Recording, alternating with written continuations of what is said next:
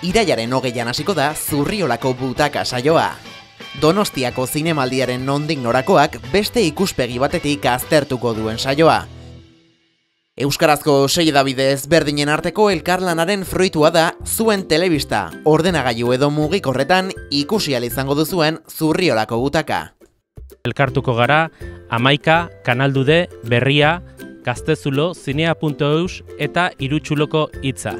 Aurten ere, bigarren urtez jarraian, Anabel Arraiz lankidea izango dugu saioaren gidari. Eta irurogei minutuetan zehar kolaboratzaile eta gonbidatu berezien konpainiaz gozatzeko aukera izango du. Euskal Herriko sortzaile ugari izanen ditugu eta gure helburutako bat hori izanen da. Sortzaile horiek gure platora ekartzea sortzaile zinemagile, ze ekoizle zuzendari denetarik izanen dugu, beraien gauza interesgarriak zuen partekatzeko asmotan, eta nere, neri dagokidanez, beraiekin solasean arituko gara. Zurriolako butaka arratsaldeko zazpiretan izango duzue ikusgai edabide guztien webunetan, zortziretan kanaldu dekatean eta azkenik amarretan gurean amaika telebistan.